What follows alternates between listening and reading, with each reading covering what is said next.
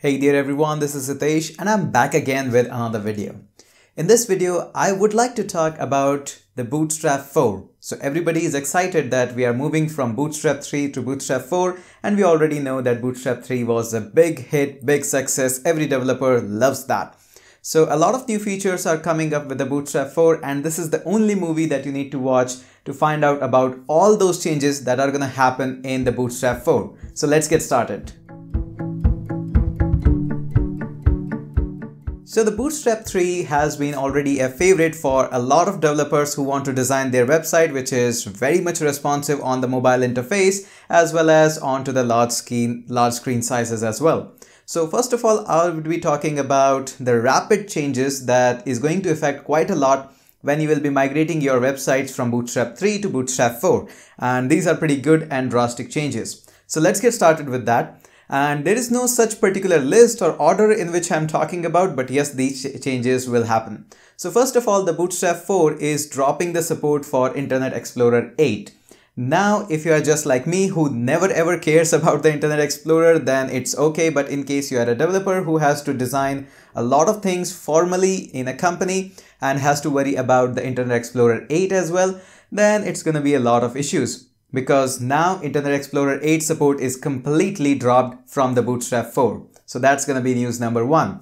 Now after that, Bootstrap is dropping the support for the glyph icons, the glyph icons as well. And uh, in fact, if you are a seasonal developer or even if you are a little bit into the development, you know that Bootstrap glyph icon icons are not that much great. And in fact, that has been overtaken by the font awesome. So everybody use the font awesome anyways. So it's always a good idea to drop the glyph icon support and that is another suspense there.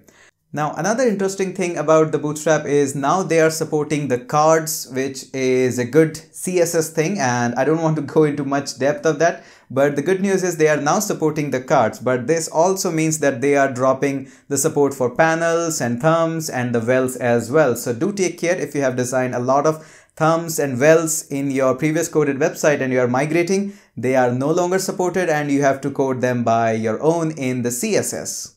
One thing that has bugged to almost every developer in their career is some of the styles that are applied by the browser itself. So whether we design a normal HTML CSS site or use a framework like Bootstrap, we always face this problem that a browser tries to depend, uh, apply all its default stylings to our web pages and we have to include a lot of long lists that normalize or reboot all those CSS. So the good thing is Bootstrap 4 is including the reboot.css which will work as a normalized CSS or basically what it will it is going to do is simply it's going to normalize everything in the browser. So the browser default sizes are completely gone and that's one less thing that I have to be worried about.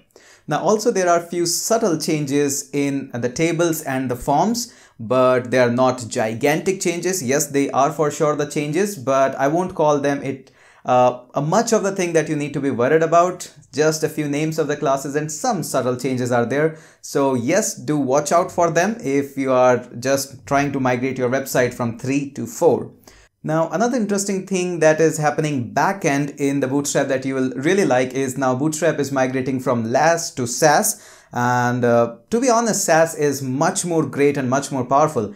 I believe that in the near future, a lot of things that we do in the Sass, like declaring the variables and all these stuffs, will be migrating towards the basic CSS in the future, just like HTML5 is far more better than the HTML4.